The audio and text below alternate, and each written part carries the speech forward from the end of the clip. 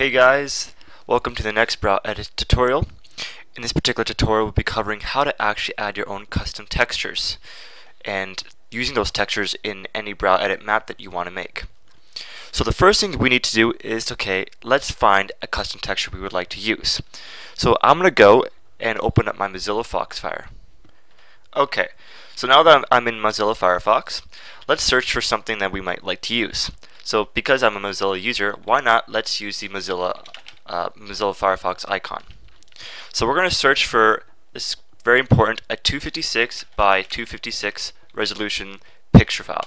Alright, you can go to 512 if you want, but uh, anything greater than that I wouldn't recommend. Just stay within the 256 by 256 pixels or 512 by 512. So let's find something we, we might want to use. So why not use this one? So let's just save that on our desktop. So I just click that, file save image. Okay, so I just saved that on my desktop. Now let's go find where exactly where that. Alright, so there's there's my custom texture right here. So it's in JPEG format. Now it's very important to follow specific parameters when you actually use a custom texture, and I'll show you those parameters right now. So this is, these are the three basic parameters that you need to use always. First of all, the custom texture must be in a BMP format. It must utilize any of these resolutions. You can go to 1024 by 1024, but really that's not really needed. You can stay within these limits and your map will look just fine. As most, or I think basically all maps are based on these two parameters right here. Another very important part is the, the bit depth rate. In this case, it's 24 bits or, or 71 ppps, meaning that's the quality of the image that we're going to be dealing with, which Brow Edit reads, as well as what Gravity uh, maps read as well.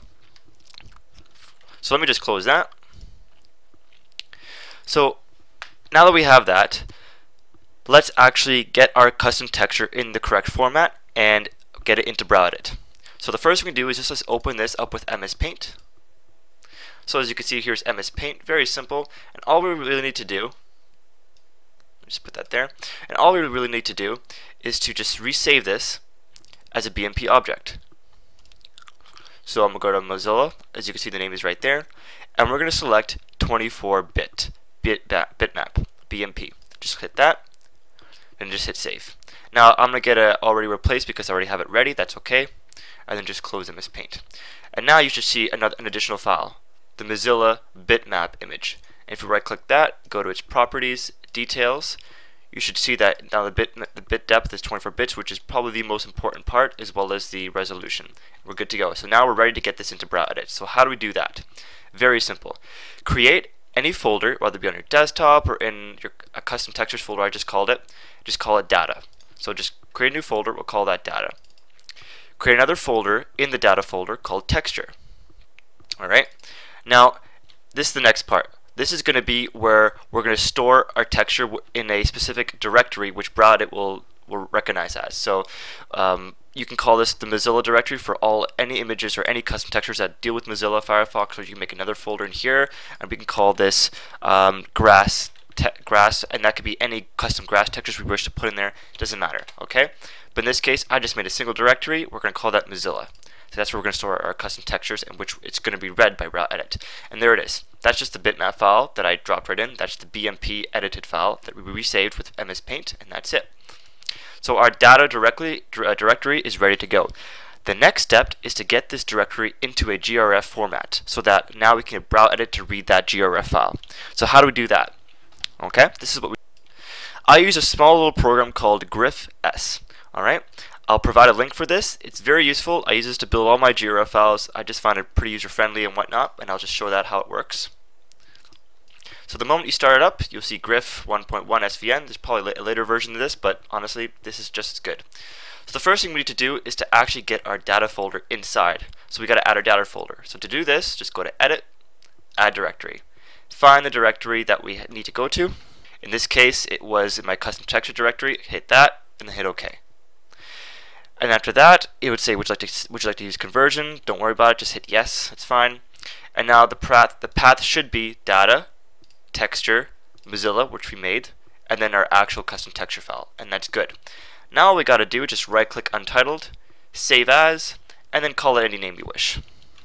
I'm gonna call mine Custom T, and hit yes, it's just giving me this this messaging because I already made the GRF already, so that's okay. Close that and close that. So now you can see the custom GRF. It's all ready to go.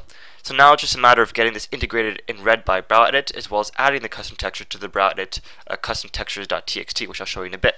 So the first thing you need to do is to actually open up the BrowEdit installation directory. I have it on my desktop, so I'm just going to open that up. So here's my BrowEdit. Then go to Data. Then go to Configs. Right click ro.xml because that's that's what, uh, that's our XML file we're going to be editing. Go to Edit, and now we're actually going to add our pathway to our GRF. So this is my pathway. It's going to be different for you, of course, but this is what it is. Just add that right here. That's all I need to do. So make sure your pathway is correct, and then and then just close it. Just, just save the file, save the text document, and close it. Alright, so technically BrowEdit can read the GRF, but has no way to link how to get the user or the mapper to get to that texture file when they're actually map editing. So to do that, go, go back to your BrowEdit folder, the installation directory, go to Data, and find the, find the text document called uh, texture, uh, Textures Custom right here, and then open that. Right. Alright, so you can see that I already have a bunch of custom textures based on Aries um, uh, I guess her her, her, texture builds, and I just grabbed that. But uh, I also have I already also added the Mozilla custom texture as well, and I'll show you how the pathway works. The first thing you do is localize. Okay, when I open up BrowEdit, where is the what is the folder going to be under? And it, and this is really what it's getting to. All right, so here just a good example of why I called it custom. So if you look at the first parameter, I you can see here custom, right? And that custom lines up perfectly with our first parameter.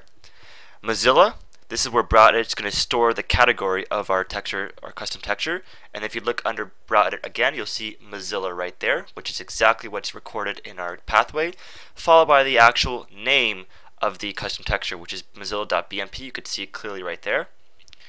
Next, we have okay. So that that was that was the first half, which is all based on BrowEdit and um, and the where it's going to store the location of the of the actual texture. The next part is reading from the GRF. So the, G the first thing we have to talk about, the very first piece is Mozilla. That's our, our data fo our folder that we called that's after the textures. So you, know, so you know how we had data, textures, and then Mozilla, which is our folder.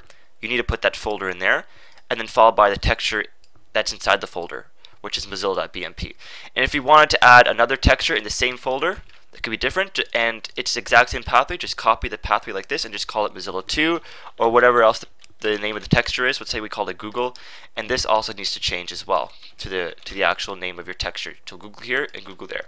All right, and then make sure that's correct, and then just save that and close it. Keep in mind that please do not put any um, any other piece of code in there besides the texture pathways. I figured that uh, it actually did crash BrowEdit when I had those slash slash and Aries, you know, custom texture path that actually crashed BrowEdit, so I had to get rid of that. Alright, so once you do all of that, start up BrowEdit, you should see your texture in ex the exact path that we put it. And if you just click that, go to texture edit, you'll find it right on the side here. Alright, so there's a texture, there's our custom texture. We can paste this in our map, just like that you could apply what lighting to it, whatever you want. Save the map. Just make sure that you, distrib you distribute your GRF with the uh, map files accordingly to your server, so that everybody else doesn't see, you know, doesn't get them, doesn't miss that texture. And that's how you add custom textures to BrowEdit. Alright guys, thank you very much, and best of luck with all your mapping, uh, with your mapping things, alright?